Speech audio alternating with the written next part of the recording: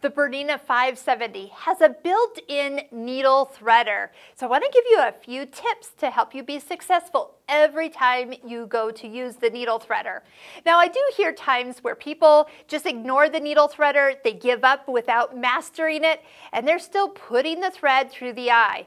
And that can just be so time consuming. So I hope you'll take time to follow these steps to be a master of the needle threader and you'll never have to thread a needle again. Well, there are a few times where a needle threader won't actually go through the needle you've put in.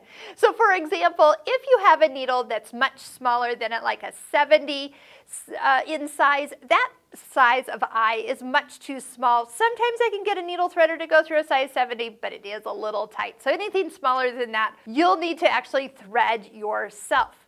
Plus, if you have a twin needle in your machine, that's another time you'll have to thread the needle. So let's talk about a few things. Number one, make sure that your needle has been lifted as high as possible when you've tightened the screw on the side here.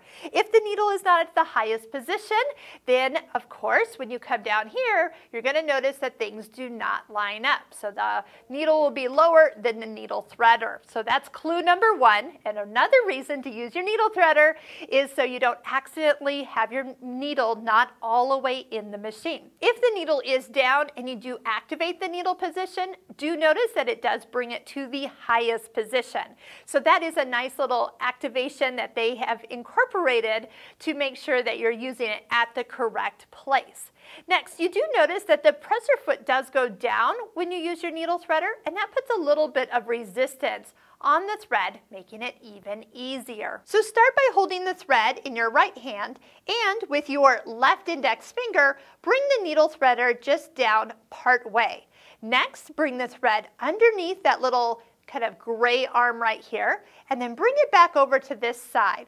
Next, take the needle threader all the way down, but make sure you bring it all the way around the needle. That last little part is key because that's what's bringing the little hook through the eye. As you bring it all the way down, hold that, then take the thread on this side and bring it into the little groove and all the way back. So you don't have to hold the thread back here. I usually kind of click it in and then I lift up. So as I gently lift up, the thread has been placed in the little hook. Now, once I let go of this needle threader, I also need to let go of this thread because if I don't, it can't pull it through the eye of the needle.